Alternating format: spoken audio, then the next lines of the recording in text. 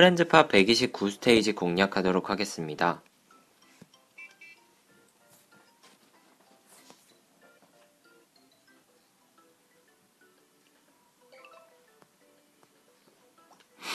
아랫부분에 매칭이 있으면 아랫부분에 매칭부터 해서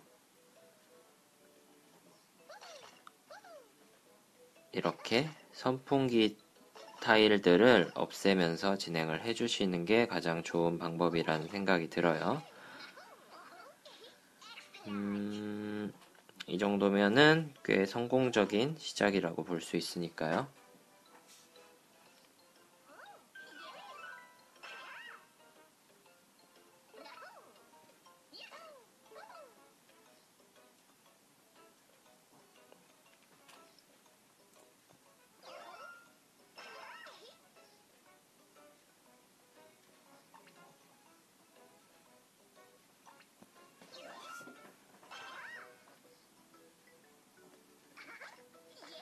오른쪽은 다 공략이 되었다는 게 굉장히 긍정적이긴 한데요. 오른쪽이 이렇게 다 공략이 되었다 할지라도 왼쪽이 공략이 안 되면 실패하는 스테이지니까 방심하지 말고 최대한 집중해서 진행을 하도록 하겠습니다.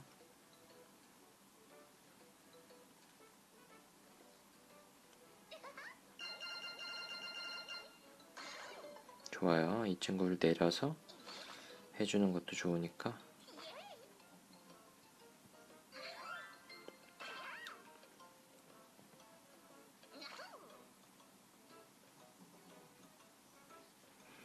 중앙에 세로 줄무늬 하나 만들면 굉장히 좋을 것 같거든요.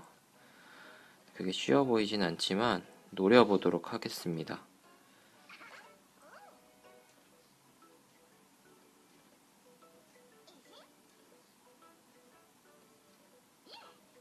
오케이 일단 여기 마무리 됐고요.